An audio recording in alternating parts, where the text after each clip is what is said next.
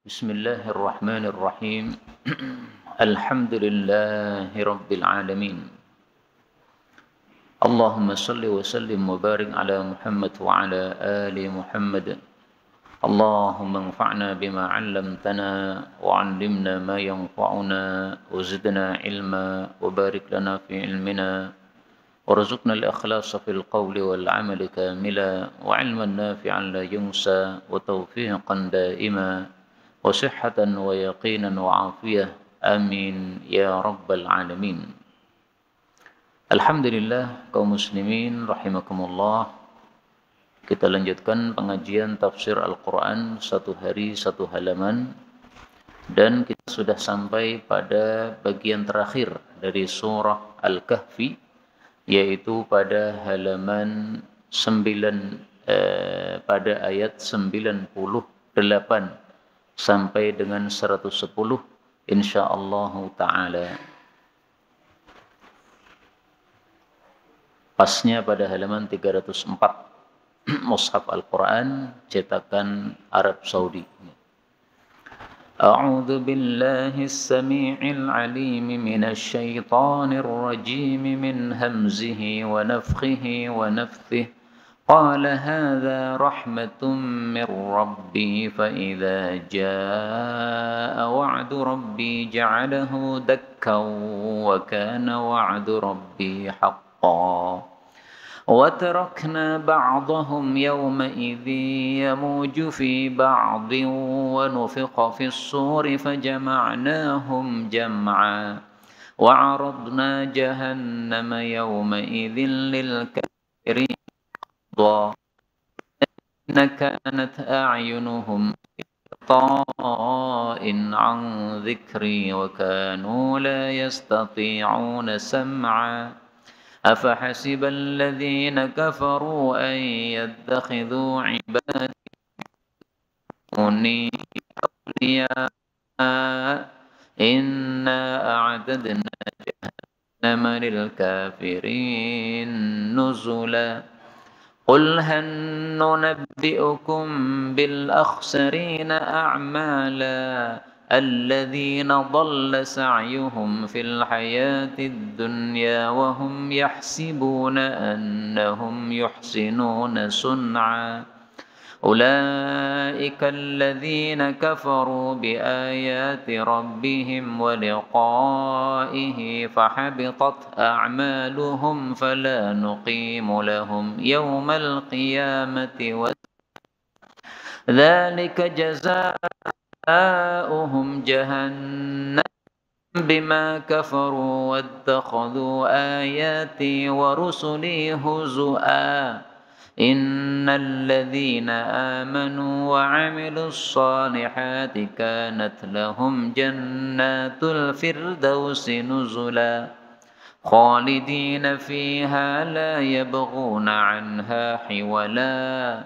قل لو كان البحر مدادا لكلمات ربي لنفد البحر قبل أن ينفد كلمات ربي ولو جينا بمثله مددا. قل إن أنا بشر مثلكم يوحى إليه أنما إلهكم إله واحد. فمن كان به فليعمل عملا صالحا. ولا يشرك بعبادة ربه أحدا الحمد لله رب العالمين اللهم ارحمنا بالقرآن آمين Pada ayat-ayat yang kita baca ini ada beberapa kata yang bisa dibaca dengan dua bacaan. Yang pertama pada ayat 98 dakka'a. Ini boleh dibaca dakka. Jadi hamzahnya dihapuskan. Seperti pada ceritanya Nabi Musa alaihi salatu wassalam. Ketika Nabi Musa minta diperlihatkan Allah maka Allah katakan ungdur ilal jabal kemudian falamma tajalla rabbuhu lil jabal ja'alahu dakkau nah, bukan dakkaa tapi dakkan sama Demikian juga pada surat Al-Fajr ayat 21. Kalla idza dukkatil ardu dakkan dakka. Maka dakka ini boleh dibaca dakka atau dakka. Kemudian pada ayat yang ke 102. Lil kafirina nuzula. Nun ketemu nun. Nah ini boleh idgham.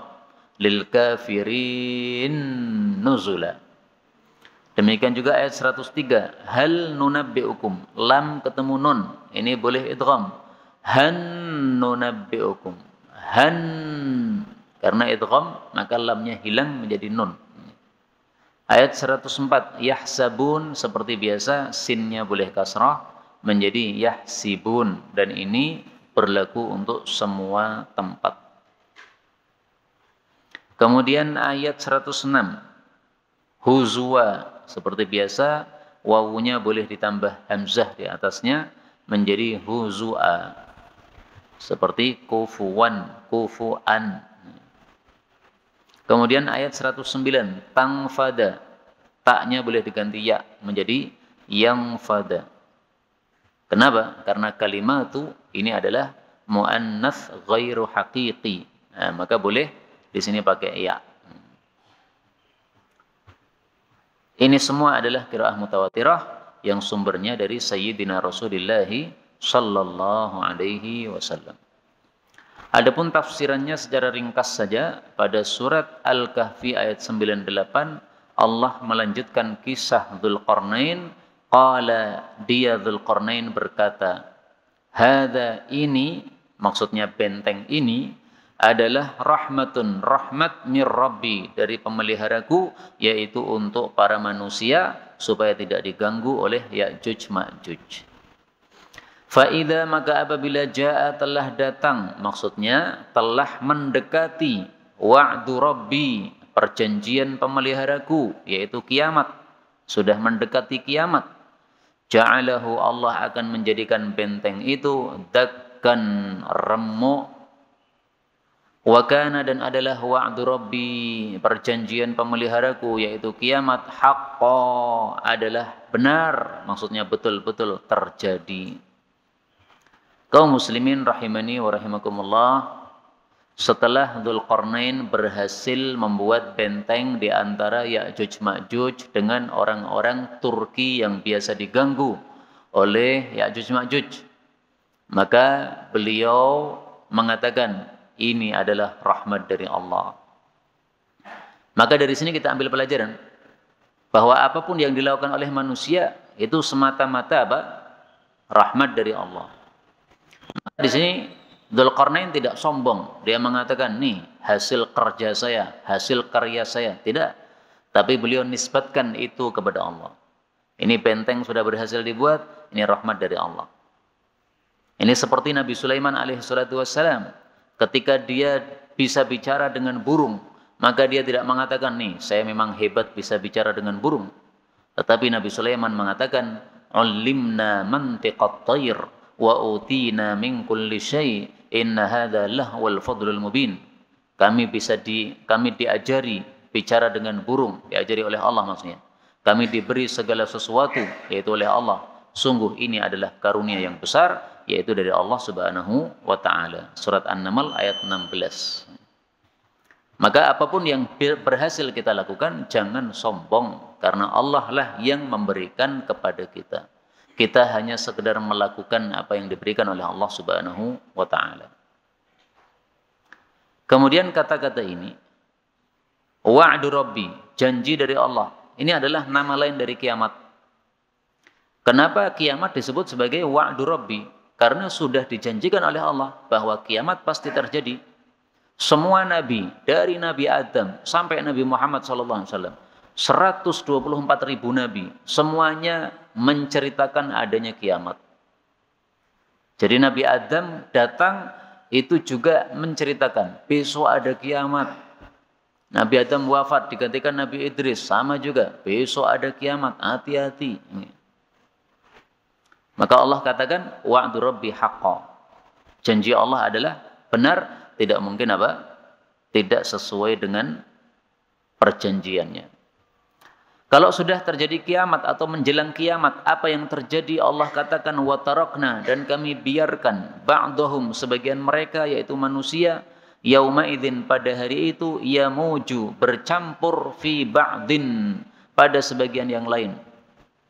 Tafsir ayat ini adalah bahwa kalau sudah mendekati kiamat maka Allah biarkan Ya'juj Ma'juj keluar dari bentengnya, akhirnya campur baur dengan manusia, berbuat rusak lagi seperti dulu semula. Maka maksud ayat ini adalah besok benteng Ya'juj Ma'juj akan hancur. Kalau sudah hancur, maka Ya'juj Ma'juj bisa keluar. Kalau keluar, maka ia muju, akan gabung, akan campur dengan manusia, sehingga dia berbuat rusak seperti dahulu kala. Bahkan disebutkan dalam hadis, Ya'juj Ma'juj setelah berhasil keluar, dia membasmi semua yang ada di bumi. Sehingga mereka merasa kami sudah menguasai semua makhluk bumi. Maka mereka lamparkan anak panah ke langit. Allah kembalikan anak panah tersebut ke bumi dalam keadaan ada darahnya.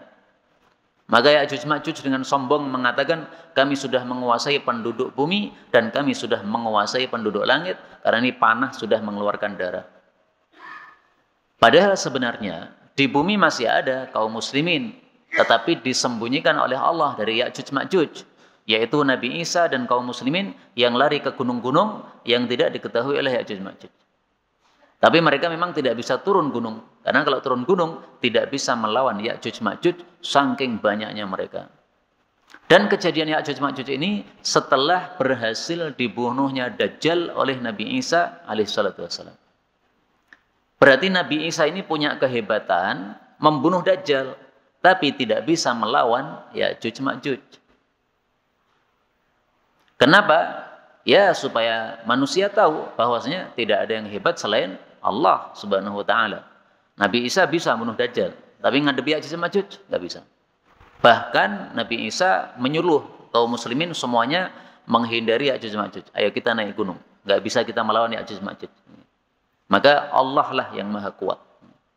Kemudian Allah katakan wa nufikha dan ditiup fi sur di dalam sangkakala yaitu oleh malaikat Israfil.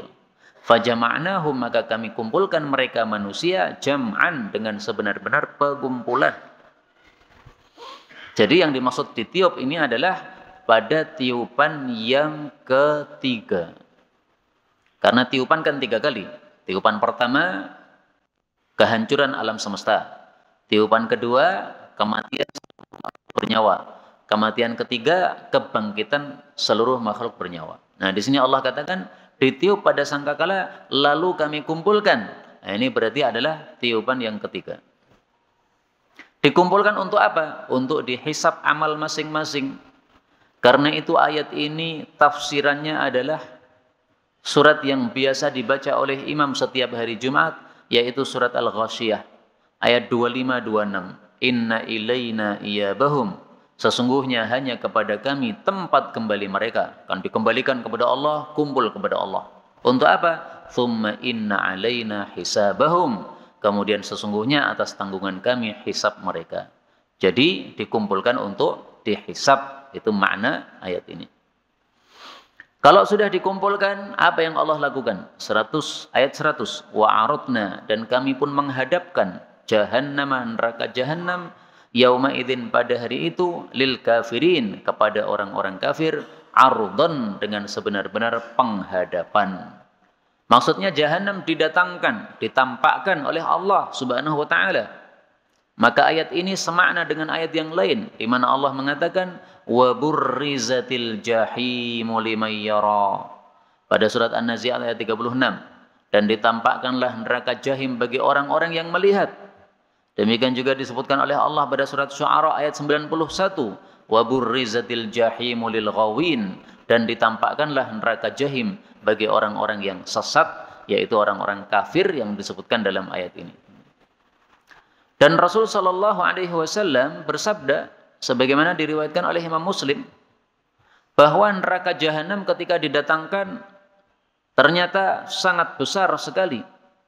Yu'ta bi jahannam akan didatangkan neraka jahanam. Yauma idzin pada hari itu yaitu di padang mahsyar. Laha sab'una alfa zimam.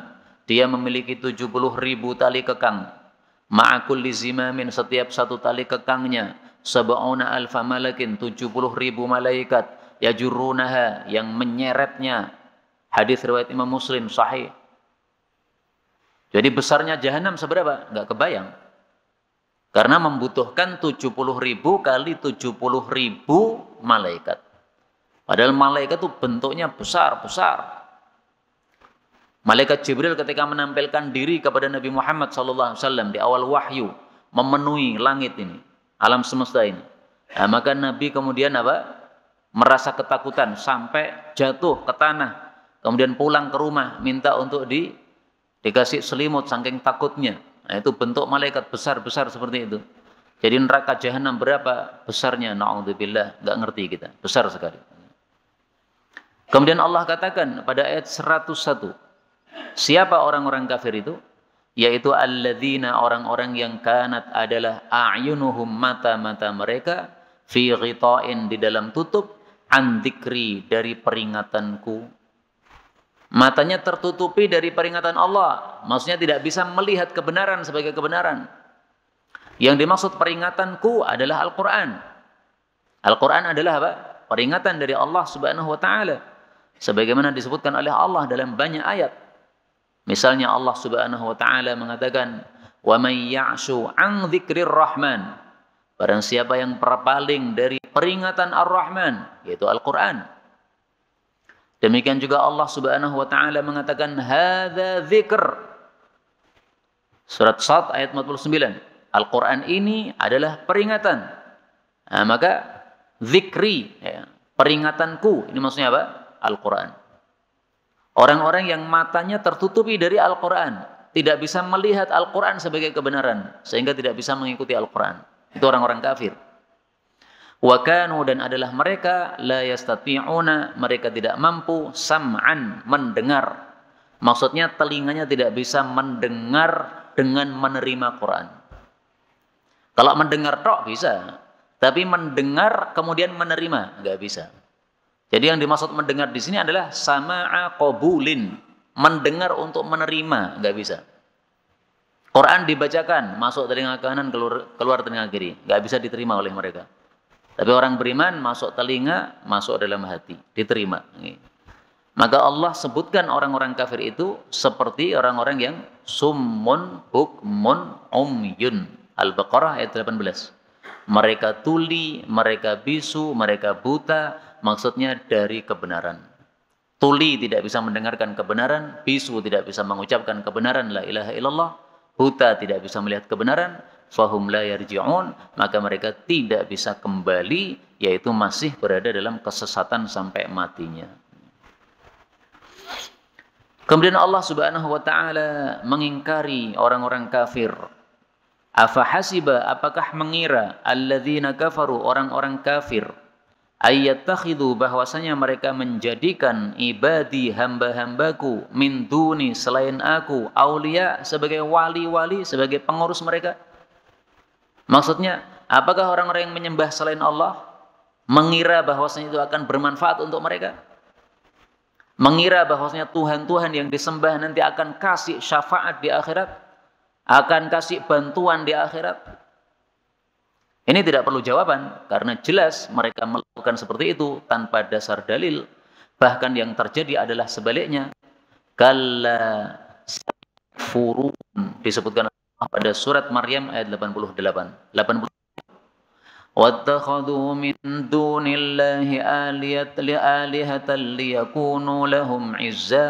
Mereka menjadikan selain Allah Tuhan-Tuhan supaya menjadi kemuliaan bagi mereka kata Allah kalla sekali-kali tidak enggak mungkin bahkan sebaliknya saya furu nabi ibadatihim mereka akan mengkufuri peribadatan mereka wa yakununa alaihim didda dan mereka akan menjadi musuh terhadap mereka.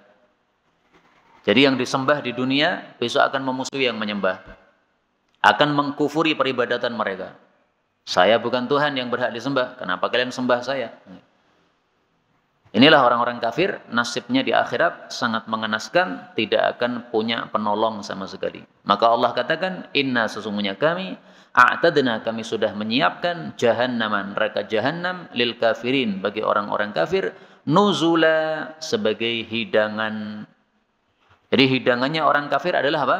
Neraka. Na'udzubillah. Tamu hidangan. Hidangannya apa? Yang lezat-lezat lah. Wah ini di neraka. Alhamdulillah. Orang dari dunia menuju akhirat ini kan seperti perjalanan. Nah, begitu sudah sudah sampai di tujuan di akhirat dihidangi neraka. Alhamdulillah. Ini seperti seorang tamu datang jauh-jauh, keringetan, lelah, sampai tempat dihidangi tai. Bayangkan coba gimana. Hausnya bukan main, panasnya bukan main, kasih sesuatu yang tidak menyenangkan. Inilah nasibnya orang-orang kafir. Na'udzubillahi min syarri. Dan dari kata-kata a'tadna kami siapkan ini menunjukkan bahwa neraka sekarang sudah ada. Dan inilah akidah ahlu sunnah wal jamaah. Ahli bid'ah, Mu'tazilah dan yang lain-lain mengatakan neraka surga belum ada. Yang ada cuma gambaran-gambaran saja. Tapi wujudnya belum ada. Nah, ini akidah sesat seperti ini. Surga neraka sudah ada. Ini Allah katakan, a'tadna, sudah kami siapkan. Dan Rasul mengatakan, kalau datang bulan Ramadan, pintu surga dibuka, pintu neraka dikunci, dan kita rasakan manfaatnya, penguncian pintu neraka, kita jadi tidak semangat berbuat maksiat. Kita rasakan manfaatnya pintu surga dibuka, kita jadi semangat berbuat kebaikan. Nah, berarti surga neraka betul-betul sudah ada. Kemudian Allah katakan, "Qul katakanlah wahai Rasulullah, hal apakah nunabbiukum aku beritahu kepada kalian. Apakah mau aku beritahu kepada kalian? Bil akhsarina terhadap orang-orang yang paling rugi a'malan amal-amalnya. Kemudian Allah jawab, yaitu alladzina orang-orang yang dhalla sesat sa'yuhum usaha mereka fil hayatid dunya di dalam kehidupan dunia wahum sementara mereka yahsibuna mengira annahum bahwasanya mereka yuhsinuna sun'a telah membaguskan amal telah beramal yang baik. Inilah orang-orang yang paling rugi. Yaitu orang yang beramal susah-susah di dunia tapi akhirnya nyemplung neraka. Beramal itu mestinya ingin mendapatkan keberuntungan dari amal tadi masuk surga. Lah ini beramal masuk malah masuk neraka seperti yang disebutkan oleh Allah pada surat yang biasa dibaca oleh imam setiap hari Jumat. Amilatun nasibah. Al-Ghasiyah ayat 3. Amilatun dia beramal, nasibah lelah-lelah, tapi akhirnya tusla naron hamiyah. Tusla dimasukkan atau tasla masuk dua kiraah. Naron hamiyah pada api yang panas. Alhamdulillah. Jadi ringkasnya yang dimaksud dalam ayat ini adalah orang-orang yang mengira amalnya diterima oleh Allah tapi ternyata ditolak oleh Allah. Sehingga masuk di sini para orang-orang kafir. Ahli kitab Yahudi Nasrani, orang-orang Khawarij, ahli-ahli bid'ah dan semua yang beramal tetapi tidak diterima oleh Allah. Termasuk yang barusan saya dapatkan sebuah video peringatan Maulid Nabi Kemudian para wanita naik di atas podium, kemudian joget-joget, nyanyi-nyanyi dangdutan. Nauzubillahi min syarri dzalik. Ini termasuk orang amal jelek kira diterima oleh Allah amalannya, tapi Allah tolak. Memperingati maulid Nabi, mensyukuri maulid Nabi katanya. Nah, kok malah joget-joget cewek naik mimbar itu gimana? Apakah Nabi pernah mengajarkan wanita disuruh naik panggung kemudian joget-joget begitu? Itu maulid Nabi yang diingkari oleh Mbah Hashim Ash'ari pendiri NU itu. Nah, sementara orang-orang sekarang menganggap Mbah Hashim Ash'ari buat maulid Nabi tapi joget di atas panggung. Kalau Mbah Hashim masih hidup langsung diambil pentongnya itu. Kalian ngaku sebagai pengikut saya tapi ngawur kalian. Mbah Hashim memang buat maulid Nabi tapi acaranya bukan kayak gitu acaranya ngaji, kitab, mempelajari sirah Nabi Muhammad SAW, menceritakan bagaimana kelahiran Nabi, kemudian dakwah Nabi sampai wafat Nabi, supaya dijadikan sebagai teladan. Ya. Maulidnya cuma gitu, bukan joget-joget begitu. Maka ayat ini orang-orang yang sesat amalnya, ini kata Ibnu Katsir, ini umum mencakup semua orang yang amalnya tidak diterima oleh Allah Subhanahu wa taala. Memang di sini ada perselisihan pendapat di antara ulama tafsir. Kata Ali bin Abi Thalib, yang dimaksud di sini adalah orang-orang Khawarij. Mereka beramal tetapi tidak diterima amalnya oleh Allah, sesat menganggap dirinya sudah beramal baik padahal beramal buruk. Menurut Sa'ad bin Abi Waqqas, ini bukan orang Khawarij yang dimaksud, tapi yang dimaksud adalah Yahudi Nasrani. Kalau Khawarij adalah orang-orang fasik, kata beliau. Nah, dua pendapat ini tidak saling bertentangan sebenarnya. Karena sebenarnya sama-sama bisa dimasukkan dalam ayat ini. Yahudi Nasrani sesat amalnya, betul. Khawarij sesat amalnya, betul. Maka kata Ibnu Katsir, semuanya masuk di sini dan ayat ini adalah umum mencakup semua yang disebutkan tadi. Kita lanjutkan ayat 105. Allah katakan ulaika mereka itulah alladzina orang-orang yang kafaru telah kafir bi ayati rabbihim terhadap ayat-ayat pemelihara mereka waliqaihi dan perjumpaan dengan pemelihara mereka fahabitat maka gugurlah a'maluhum amal-amal mereka yaitu tidak diterima oleh Allah fala nuqimu maka kami pun tidak menegakkan lahum bagi mereka yaumal qiyamati pada hari kiamat wazna akan timbangan. Jadi karena mereka kafir kepada ayat Allah dan perjumpaan dengan Allah di hari kiamat, maka amalnya tidak diterima oleh Allah. Itu makna habitat ya. Amalnya gugur yaitu tidak diterima oleh Allah Subhanahu wa taala.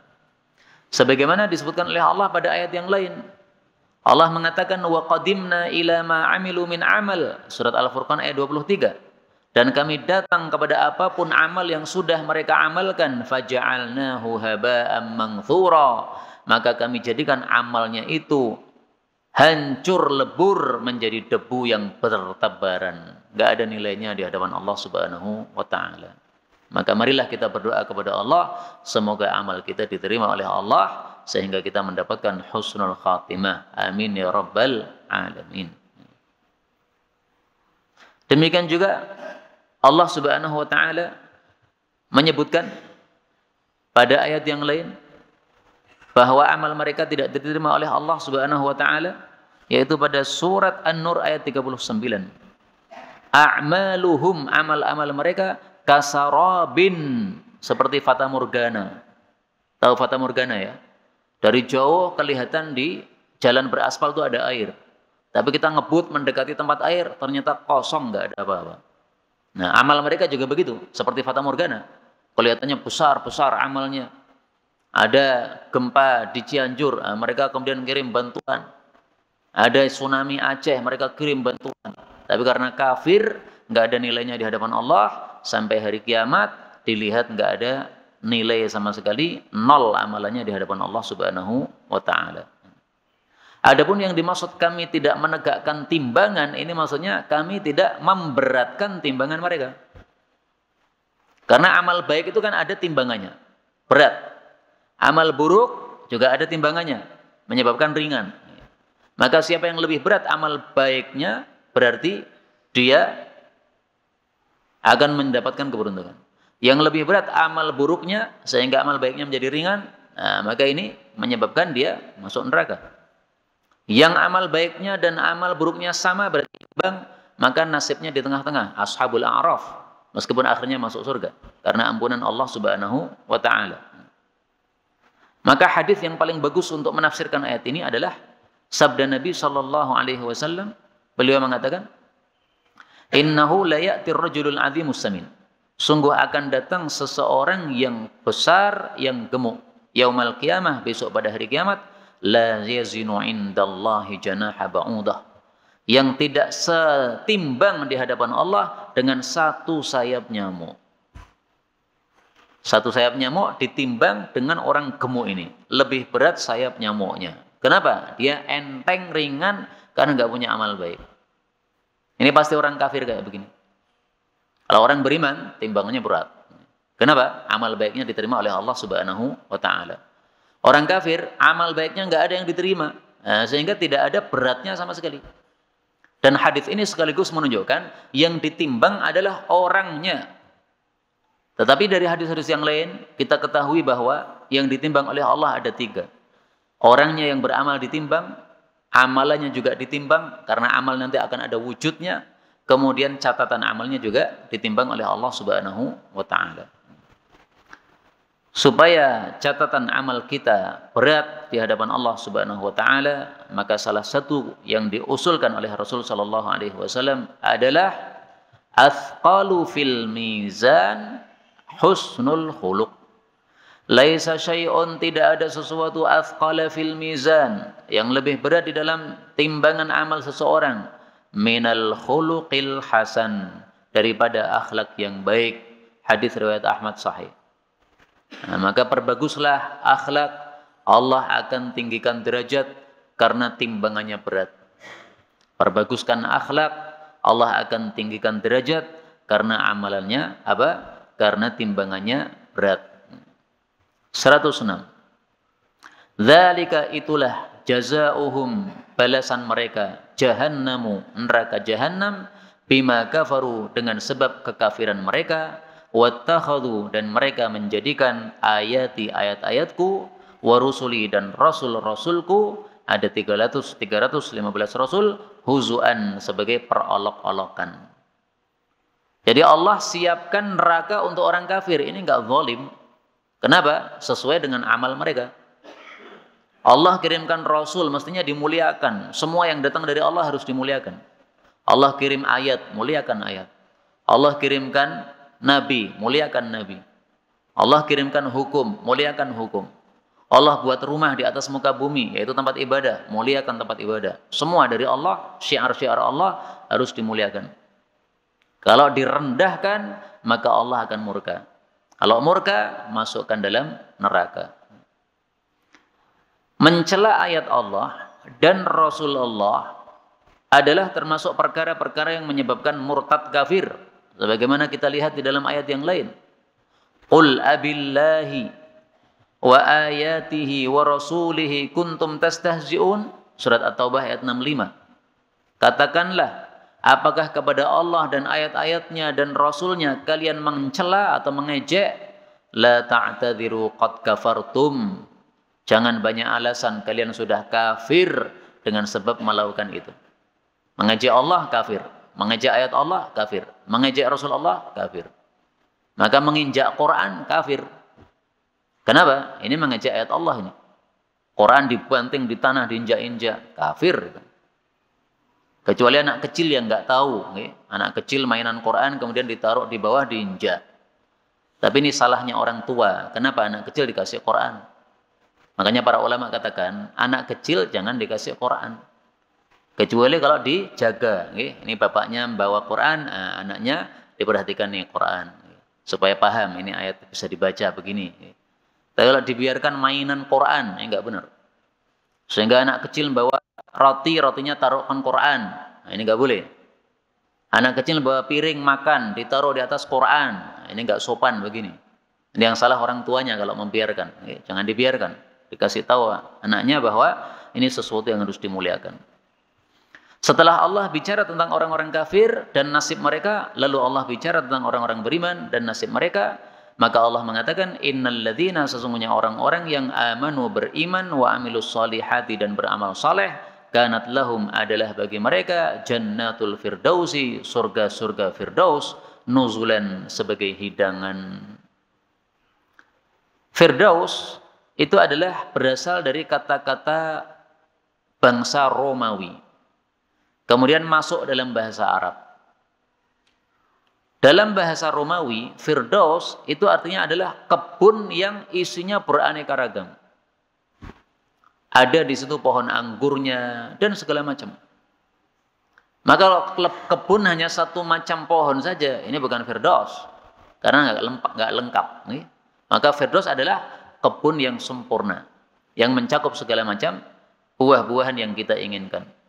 Maka surga firdaus adalah surga yang paling tinggi. Sebagaimana sabda Nabi sallallahu alaihi wasallam, "Idza sa'altumullaha ta'ala kalau kalian minta kepada Allah, fasaluhul firdaus maka mintalah surga firdaus fa innahu sirrul jannah karena surga firdaus adalah jannah yang paling mulia Hadis riwayat Tabarani sahih. Allahumma inna nas'aluka al-firdaus. Allahumma inna nas'aluka al-firdaus. Allahumma inna nas'aluka al-firdaus. Amin ya rabbal alamin. Demikian juga Rasulullah sallallahu alaihi wasallam bersabda, Fa idza sa'altumullah, kalau minta kepada Allah, fasaluhul firdaus, mintalah surga firdaus. Fa innahu ausatul jannah, karena dia adalah surga paling baik. Wa a'lal jannah, surga paling tinggi. Wa fawqahu arsyur rahman. Dan di atasnya ada singgasana Allah. Wa minhu tafajjaru anharul jannah. Dan darinya lah sungai-sungai surga mengalir. Hadis riwayat Bukhari sahih. Jadi semua sungai surga sumbernya dari Firdaus. Maka Firdaus adalah jannah yang paling tinggi. Allah katakan surga Firdaus adalah nuzulan, hidangan bagi orang-orang beriman. Sebaliknya tadi, orang-orang kafir hidangannya adalah neraka. Jadi sama-sama dihidangi oleh Allah. Karena mereka tamu-tamu Allah. Perjalanan dari dunia ke akhirat ini perjalanan safar. Nah, sudah sampai tujuan maka akan diberi hidangan oleh Allah. Nih, hidangan kamu surga. Ini hidangan kamu neraka. Nauzubillah. Kalau sudah masuk surga khalidina, mereka kekal fiha di dalam surga, la yabghuna, mereka tidak menghendaki anha dari surga hiwala pindah. Jadi kondisi orang beriman di surga berbeda jauh dengan kondisi orang neraka di dalam neraka. Orang kafir di neraka, mereka ingin supaya segera dipindahkan dari neraka. Mencari cara supaya bisa pindah dari neraka. 500 tahun mereka nangis-nangis supaya Allah iba sama mereka supaya dikeluarkan. Ternyata Allah nggak peduli. 500 tahun lagi mereka pura-pura sabar, tidak nangis lagi supaya Allah kemudian menghargai kesabaran mereka supaya dimasuk apa dikeluarkan dari neraka. Ternyata Allah nggak peduli lagi. Itulah yang disebutkan oleh Allah dalam Al-Qur'an, sawaun alaina ajazi'na am sabarna malana mim mahis. Orang-orang kafir mengatakan, sama saja bagi kami, apakah kami keluh kesah 500 tahun, ataukah kami sabar 500 tahun juga, malana mim mahis. Kami nggak akan bisa keluar dari neraka. Ini surat Ibrahim ayat 21. Ayat 109. Qul katakanlah, lau kalaulah kana adalah al-bahru lautan Bukan laut ya, tapi lautan karena semua laut. dan tinta li kalimati rabbi untuk menulis kalimat-kalimat pemeliharaku.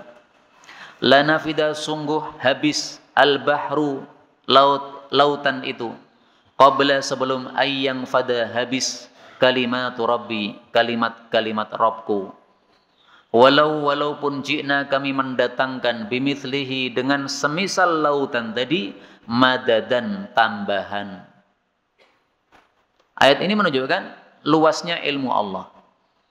Jadi yang dimaksud kalimat Allah adalah apa? Ilmu Allah. Termasuk Al-Quran itu kalimat-kalimatnya Allah. Maka Al-Quran ini sebagian dari ilmu Allah. Nah kalau ilmu Allah semuanya, hukum-hukum Allah semuanya, apa yang diketahui oleh Allah, oleh Allah semuanya ditulis, itu enggak cukup lautan di atas muka bumi. Padahal kalau panjenengan lihat di perpetaan bumi, bumi bulat ini, ini ternyata lebih banyak lautnya daripada daratnya. Maka jumlahnya berapa liter lautan, air lautan nggak bisa dihitung. Saking luasnya laut ini. Tapi kalau disuruh untuk menulis kalimat-kalimat Allah, ilmu Allah nggak akan cukup. Ilmu Allah sungguh apa? Sangat luas sekali. Sebagaimana disebutkan di dalam Al-Quran, wasi'a kursiyuhu samawati wal arda. Al-Baqarah ayat 255. Mencakup ilmunya Allah itu langit-langit dan bumi. Kursiyuhu ada yang mengatakan kursinya Allah maksudnya ilmunya Allah. Ada yang mengatakan kursi itu adalah di bawahnya singgasana Allah Subhanahu wa taala. Ya dua-duanya adalah tafsiran ulama kita boleh salah satunya dipakai Meskipun tafsiran yang lebih bagus kursi yuhu itu ya kursi. Kursi di bawah sehingga sana Allah Subhanahu wa taala. Di sini Allah katakan walau ji'na bimithlihi madada. Meskipun kita tambahkan dengan lautan yang semisal. Lautan bumi habis, ditambahi lagi air sepenuh lautan yang sebelumnya. Habis juga akan. Apakah berarti butuh tiga lautan? Tidak hanya tiga, tujuh pun tidak cukup. Sebagaimana Allah subhanahu wa ta'ala sebutkan dalam ayat yang lain. Pada surat Luqman ayat 27. Walau annama fil ardi min syajaratin aqlam. Seandainya semua yang ada di bumi, pohon-pohon itu menjadi pena-pena. Wal bahru yamudduhu min ba'dihi sab'atu abhur.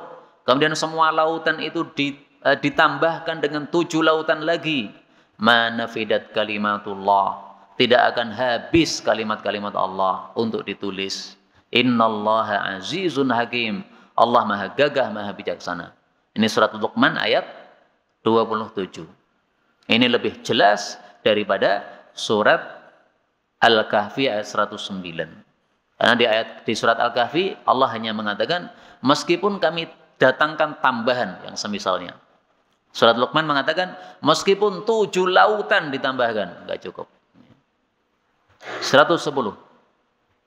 Kul katakanlah innama sesungguhnya tiada lain ana saya ini basyarun adalah manusia mithlukum semisal kalian apa sih kaitannya ayat ini dengan isi surat Al-Kahfi? Kenapa surat Al-Kahfi ayat 110 ditutup dengan kalimat ini? Saya manusia biasa. Kenapa? Nah, jangan lupa dulu saya jelaskan bahwa surat Al-Kahfi ini turunnya karena pertanyaan orang-orang kafir. Orang-orang kafir bilang kepada para Yahudi, "Hei para Yahudi, ini Muhammad ngaku nabi, gimana untuk ngetes bahwasanya dia betul-betul nabi atau nabi palsu?" Nah, maka Yahudi bilang, kamu tanya tiga hal. Kalau dia bisa jawab, berarti Nabi. Kalau nggak bisa jawab, berarti bukan Nabi. Tanya tentang orang-orang yang berada di gua, mereka tidak mengetahui apa yang mereka lakukan. Karena tidurnya selama 300 lebih tahun. Berarti tidak tahu apa yang dilakukan selama 300 tahun itu. Kemudian ada orang yang mengelilingi bumi, yaitu Dzulqarnain. Kemudian tanyalah dengan tentang roh. Nah, maka tiga pertanyaan ini menyebabkan turunnya surat Al-Kahfi. Maka Nabi disuruh mengatakan, tiada lain saya manusia biasa seperti kalian. Artinya saya tidak tahu perkara yang gaib. Adapun saya bisa menjawab tiga pertanyaan ini karena Allah turunkan wahyu. Kalau Allah tidak turunkan wahyu, saya nggak bisa menjawab. Nah, maka wajar kalau surat Al-Kahfi ditutup dengan ayat ini. Ini kaitannya dengan apa? Sababun nuzul surat Al-Kahfi. Kemudian Nabi mengatakan yuha ilayya diwahyukan kepada saya annama bahwasanya tiada lain ilahukum sesembahan kalian adalah ilahun wahidun sesembahan yang satu.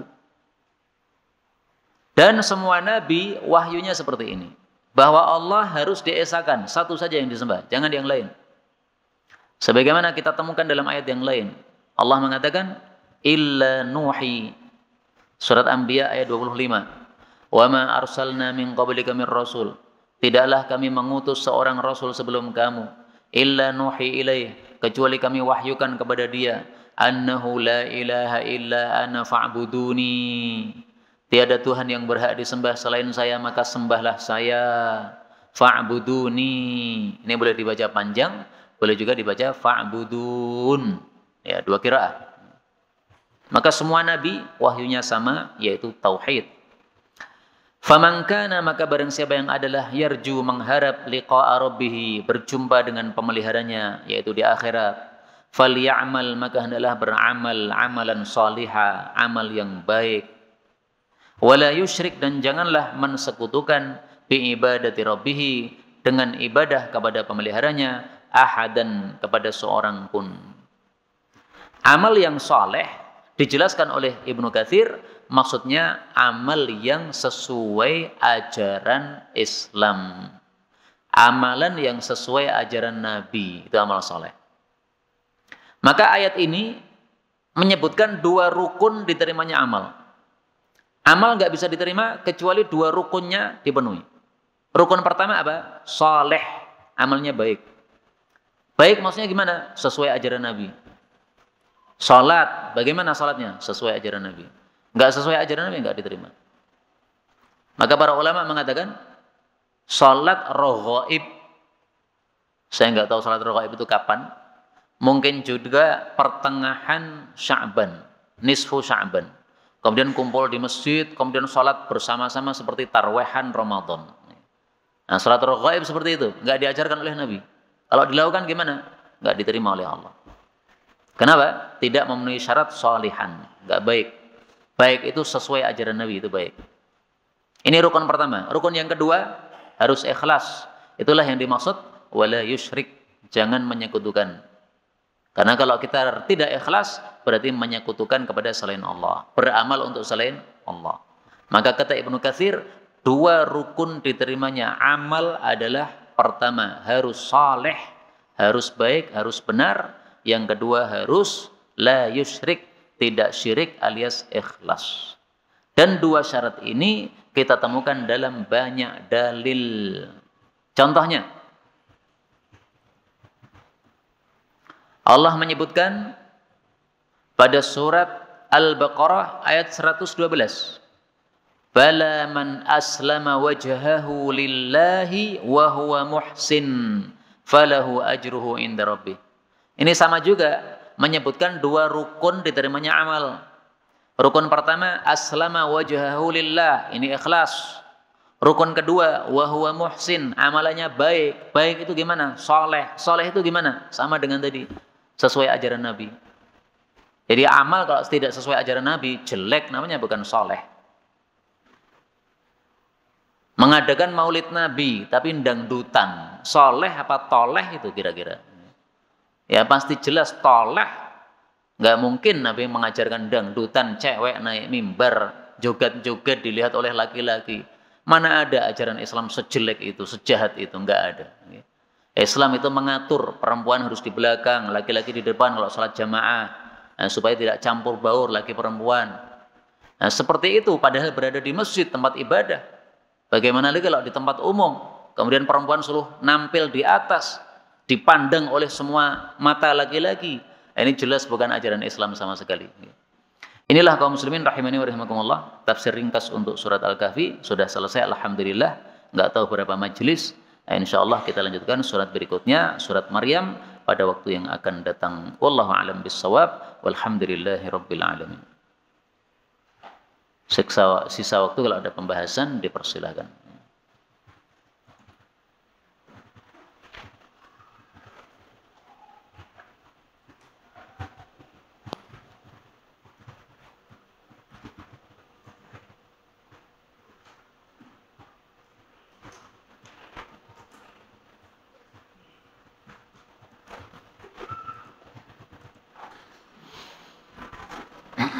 Bismillahirrahmanirrahim. Saya mau tanya bagaimana hukumnya bersendawa saat sholat sampai ada suaranya. Hendaklah kita menahan sendawa kita jangan dilepaskan total ketika kita sedang sholat karena akan bisa mengganggu jamaah. Kalau guru saya mengajarkan, kalau kita salat jamaah, samping kanan, samping kiri ada orang, maka sendawa dimasukkan di baju. Jadi caranya bajunya dibuka begini, nah, kemudian sendawa kita masukkan.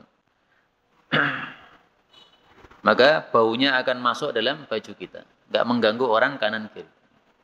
Boleh nggak sholat buka baju begini? Nggak apa-apa, karena cuma sedikit aja. Tapi kalau mainan itu nggak boleh. Ini bukan mainan, ini ada fungsinya.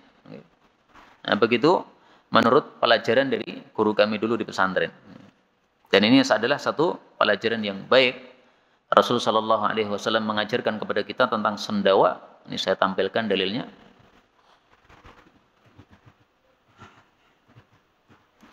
Kufa'anna jusa'ak. Tahanlah dari kami sendawa kamu. Jadi sendanya jangan dilepas total begitu, tapi ditahan. Karena orang yang paling banyak kenyang di dunia, mereka lah yang paling lama lapar di hari kiamat. Hadis riwayat Tirmidzi sahih. Apa jawaban jika ada seorang yang mengatakan kepada kita, "Ana uhibbuka fillah." Saya mencintai kamu karena Allah. Ya, kita jawab sebagaimana biasanya eh, para ulama menjawab, "Ahabbakallah alladhi ahbabtani lah." Semoga Allah juga mencintai kamu yang engkau mencintai saya karena Allah. Apakah yang dimaksud peristiwa Ghadir Khum pada masa kekhilafahan kekhalifahan Ali bin Abi Thalib? Ghadir Khum itu bukan di masa khilafah Ali bin Abi Thalib. Tapi di masa hidup Rasulullah wasallam. Rasulullah safar kemudian mampir di satu Ghadir. Ghadir itu telaga. Nah, telaga itu tempatnya di Khum, maka disebut Ghadir Khum. Kalau telaga di Pengkok namanya Ghadir Pengkok. Nah, ini telaga di Khum, Ghadir Khum.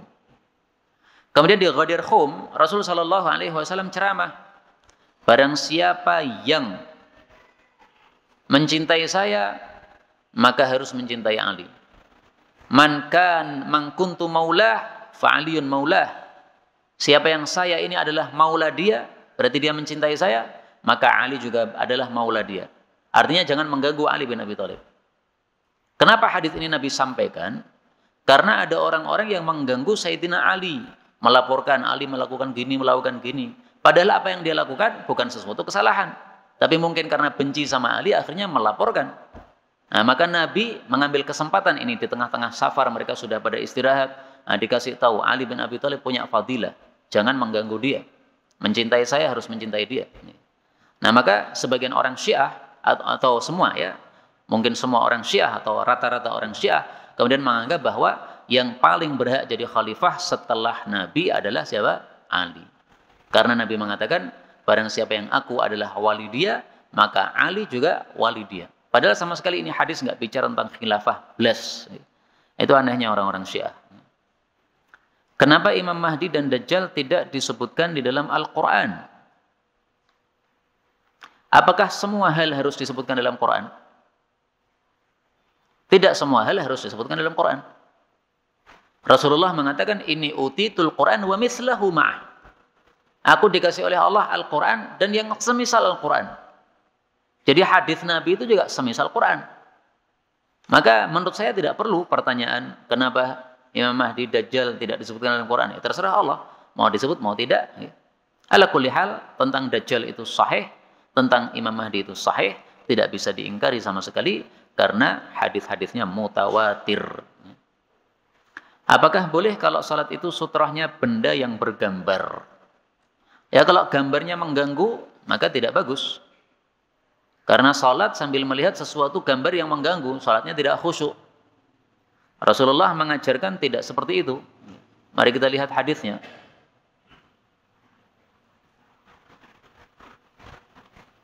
Al-Qarnain. Ini nasitu sesungguhnya aku lupa an amuraka untuk menyuruh kamu an tukhammiral qarnain untuk menutupi dua tanduk yang ada di dalam Ka'bah.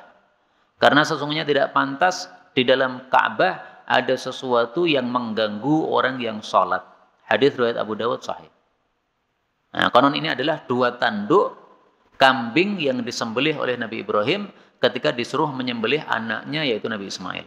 Nah, tanduknya itu masih disimpan dalam Ka'bah. Konon begitu. Nah Nabi pas masuk Ka'bah beliau suruh untuk ditutupi. Kenapa? Salat ngambil melihat tanduk, nggak khusyuk nanti. Apa yang dimaksud dengan tasbik? Tasbik itu begini. Jadi jari masukkan jari ini tasbik. Boleh nggak tasbik di dalam masjid? Boleh apabila bukan menunggu sholat. Tapi kalau menunggu sholat nggak boleh. Jadi kalau santri masuk ke masjid jam 5, untuk apa? Nunggu adzan maghrib nggak boleh tasbih. Habis maghrib, kemudian zikir sambil tasbih, boleh nggak? Boleh kalau tidak untuk menunggu sholat. Tapi kalau menunggu sholat dari maghrib sampai isya, tasbih nggak boleh. Tapi kalau dari maghrib mau pulang dulu ke rumah atau ke asrama, maka tasbih apa? Boleh. Jadi ringkasnya tasbih tidak boleh ketika sholat maupun ketika menunggu sholat sebagaimana disabdakan oleh Rasulullah sallallahu alaihi wasallam. Apa hukum memakai celana atau sarung cingkrang itu sunnah? Iya sunnah. Karena Rasul sallallahu alaihi wasallam memujinya. Beliau menyebutnya sebagai sarungnya orang beriman. Izratul mu'min, sarungnya orang beriman adalah sampai tengah-tengah betis. Berarti apa? Dipuji oleh Nabi. Maka Nabi menjagi, membagi sarung itu ada tiga sarung atau celana sama ya. Paling utama yaitu sarungnya orang beriman setengah betis. Yang kedua yang boleh sampai betis. Jadi ini betis nah, sampai betis. Kalau nutupi betis sedikit ya nggak apa-apa. Yang tidak boleh adalah yang lebih rendah daripada betis. Nah, maka tengah betis ini paling utama.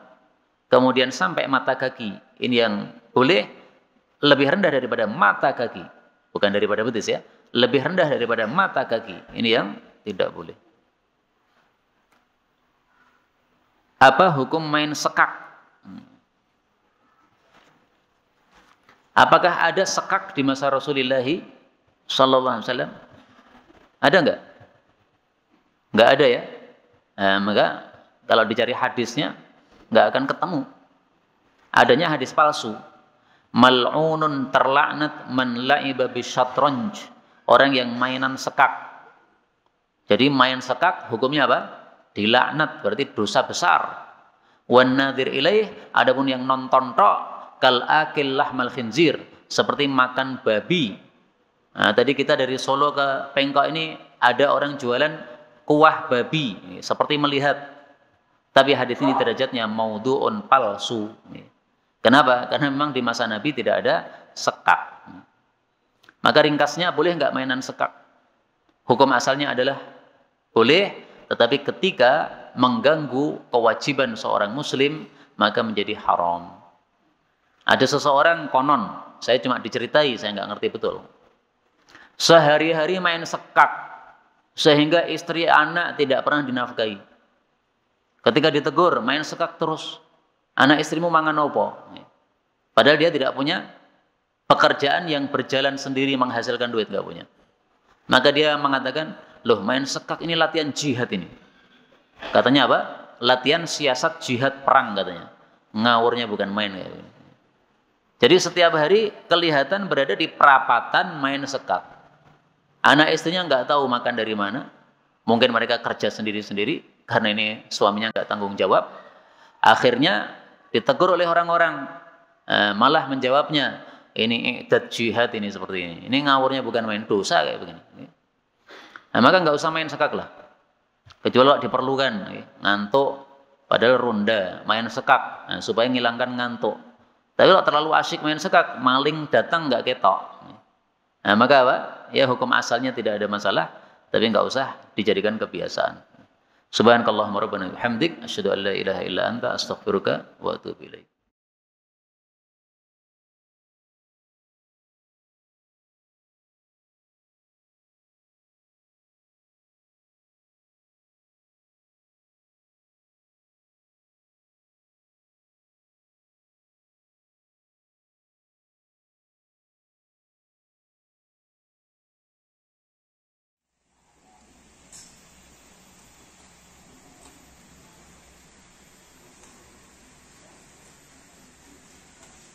Bismillahirrahmanirrahim. Assalamualaikum warahmatullahi wabarakatuh.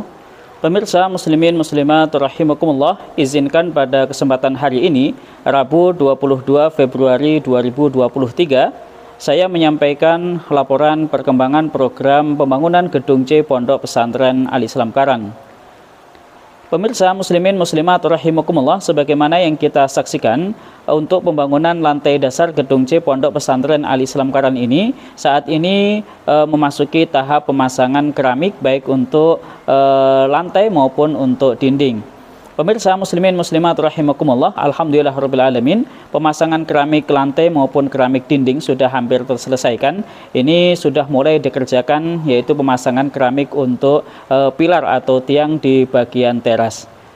Pemirsa muslimin muslimat rahimakumullah, kami informasikan kembali bahwa Eh, kesempatan untuk turut andil dalam program kebaikan ini yaitu program sedekah jariah pembangunan pondok pesantren Al-Islam Karan masih terbuka lebar bagi siapa pun dan di mana pun bagi yang sudah turut andil dan hendak turut andil kembali maupun bagi yang belum turut andil. Pemirsa muslimin muslimat rahimakumullah, kami mengucapkan terima kasih jazakumullahu khairan kepada seluruh pihak yang selama ini telah berkenan mendukung perjuangan kebaikan ini yaitu pembangunan Pondok Pesantren Al-Islam Karan. Kami hanya bisa mendoakan mudah-mudahan siapa pun dan di mana pun dan apa pun yang diperbantukan untuk kepentingan kebaikan ini semuanya dicatat oleh Allah Subhanahu wa taala sebagai amal soleh yang kelak memberatkan timbangan amal kebaikan kita di hari kiamat. Pemirsa muslimin muslimat rahimakumullah, sekian dan demikian informasi dan laporan yang kami sampaikan berkenaan dengan perkembangan program pembangunan Gedung C Pondok Pesantren Al Islam Karan. Insya Allah kami akan tetap melanjutkan perjuangan kebaikan ini selagi Allah Subhanahu wa taala memberikan kekuatan kepada kami dan selagi kaum muslimin wal muslimat semuanya mendukung uh, perjuangan ini. Pemirsa muslimin muslimat rahimakumullah, kami mohon doa dari antum semuanya. Mudah-mudahan Allah Subhanahu wa taala senantiasa memberikan kekuatan serta kesabaran kepada kami sehingga kami bisa istiqomah dalam menjalankan amanah ini dan mudah-mudahan Allah Subhanahu wa taala senantiasa memberikan sifat amanah kepada kami semuanya sehingga kami bisa menjalankan amanah kaum muslimin wal muslimat ini dengan sebaik-baiknya. Pemirsa muslimin muslimat rahimakumullah kami mohon maaf yang sebesar-besarnya bila ada kekurangan dalam kami menyampaikan laporan ini. Insya Allah kita akan berjumpa pada kesempatan yang lain. Rabbana taqabbal minna innaka antas samiul alim wa tub alaina innaka antat tawwabur rahim. Wa sallallahu wa sallim wa barik ala Muhammadin wa ala ali Muhammad. Walhamdulillahirabbil alamin. Saya Yusuf Rahmatullah. Wassalamualaikum warahmatullahi wabarakatuh.